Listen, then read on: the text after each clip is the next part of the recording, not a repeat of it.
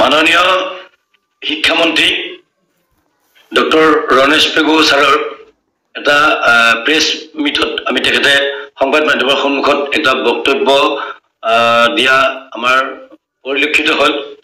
আমি সদৌ অসম অপেক্ষিত শিক্ষক কৰ্মচাৰী সংস্থাই ঊনৈছ দিন অনশন কৰি উঠাৰ পিছত দুবাৰ দুবাৰকে চচলৰ পৰা তেখেতক মই নিজে ফোন কৰিছিলোঁ আৰু মোৰ ফোনৰ প্ৰত্যুত্তৰত তেখেতে একো কৰিব নোৱাৰোঁ। বা মাননীয় মুখ্যমন্ত্ৰী মহোদয়ক মই জনাব পাৰোঁ।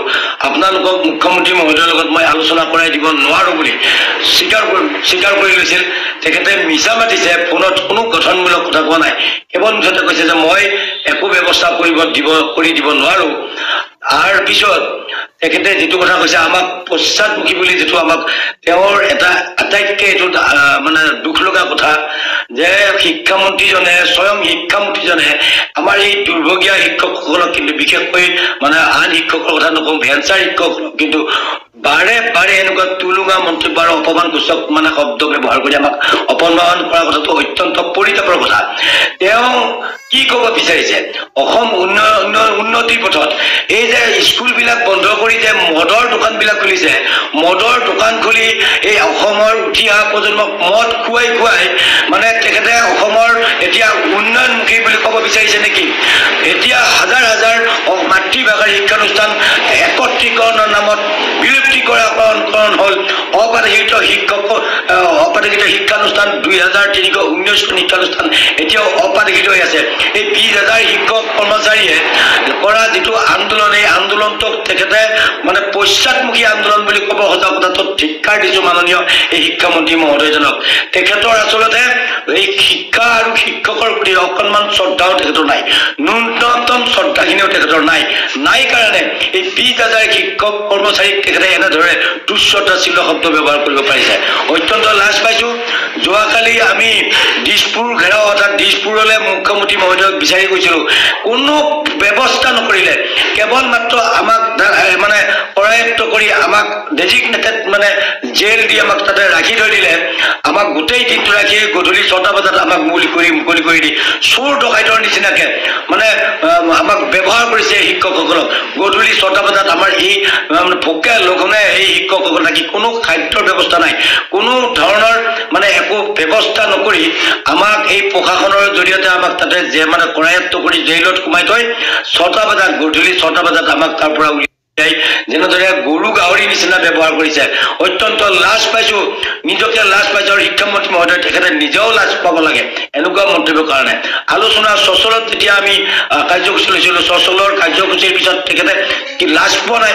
কোনোবা যদি বেপাৰী কোনোবা যদি দালালৰ লগত কথা পাতিছে আমি কথা ক'ব নোৱাৰোঁ। কিন্তু আমি যিখিনি শিক্ষক কৰ্মচাৰীয়ে তাতে আন্দোলন কৰি আছোঁ অনশন কৰি আছিলোঁ। এই অনশন কৰা শিক্ষক কৰ্মচাৰীসকলৰ লগত মাননীয় শিক্ষামন্ত্ৰী মহোদয় কিয় কোনো মানে আমাৰ প্ৰতিনিধিয়ে চৰকাৰৰ কোনো প্ৰতিনিধিয়ে আমাৰ লগত আলোচনা নাই কেৱল বিভাগৰ মানুহে যায় তেওঁলোকক অকথাৰে স্বীকাৰ কৰিছে যে আমি আপোনালোকক একো কৰি দিব নোৱাৰোঁ। কেৱল আপোনালোকৰ খবৰখিনি কথাখিনি আমি মন্ত্ৰী মহোদয়ক জনাব পাৰিম বুলি আমাক মানে অত্যন্ত মানে বেয়া লগাকে আমাক প্ৰত্যুত্তৰ দিছে।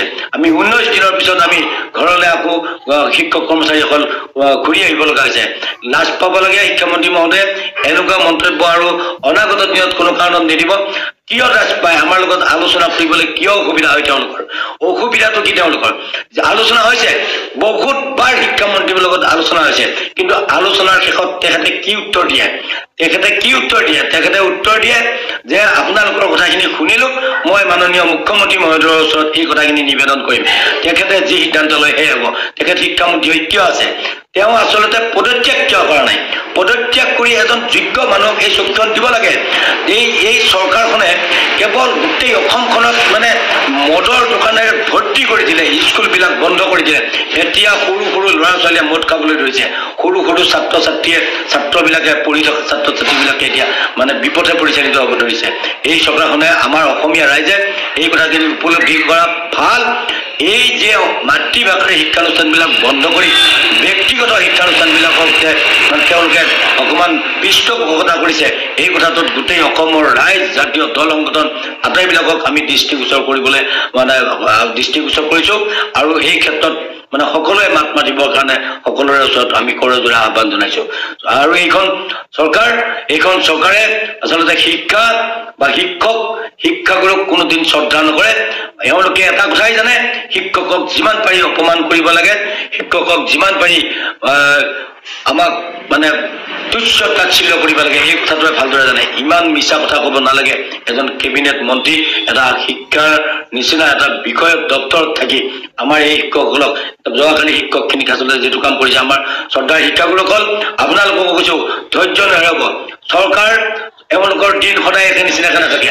এদিন নহয় এদিন আমাৰো দিন আহিব মাননীয় মুখ্যমন্ত্ৰী মহোদয়ে যদি এই মাঘ বিহুৰ আগতে অৰ্থাৎ এসপ্তাহৰ ভিতৰত আমাক মাতি নি আহ, সদৌ অসম অপাধিকৃত শিক্ষক কৰ্মচাৰী সংস্থাক দুহেজাৰ বাইছ চনৰ বিছ অক্টোবৰত যেনেদৰে মাতি নি আলোচনা কৰিছিল আমাক প্ৰতিশ্ৰুতি দিছিল আশ্বাস দিছিল ঠিক তেনেদৰে আকৌ মাতি আমাৰ লগত আলাপ আলোচনাৰ মাজেৰে যদি কোনো কাৰ্যকৰী ব্যৱস্থা নলয় অৰ্থাৎ দুহেজাৰ সোতৰ ওঠৰ আইনখন সংশোধনৰ কাৰণে কোনো যদি কাৰ্যকৰী ব্যৱস্থা নলয় তেনেহ'লে মাঘ বিহুৰ ঠিক পিছতে আমি আকৌ দিছপুৰ ঘেৰাও কাৰ্যসূচী ল'ম। তাৰ সমান্তৰালভাৱে আমি এতিয়া গম পাইছোঁ যে অমিত শ্বাহ মহোদয় গৃহমন্ত্ৰীয়ে আহ, ভাৰতৰ মাননীয় গৃহমন্ত্ৰী অমিত শ্বাহ মহোদয় আমাৰ অসমলৈ আহিব যিদিনাই আহিব সিদিনাই আমি আকৌ মানে প্ৰতিশ্ৰুতি কাৰ্য কাৰ্যসূচী ল'ম আৰু তাৰ কাৰণে একমাত্ৰ জগৰীয়া কিন্তু মাননীয় মুখ্যমন্ত্ৰী মহোদয় আৰু এই যিজন আমাৰ যিকোনো সময়ত শিক্ষকসকলক তুচ্ছ তাচ্ছিল্য কৰা বা আমাক শিক্ষক হিচাপে সন্মান নকৰি মানে আমাক আহ, মানে দিবলগীয়া কাৰ্যবিলাকত আমাক বাৰে বাৰে বাধ্য কৰোৱা এইজন শিক্ষামন্ত্ৰী মাননীয় শিক্ষামন্ত্ৰী। তেখেতৰ তেখেত হ'ব হ'ব ইয়াৰ বাবে জগৰীয়া।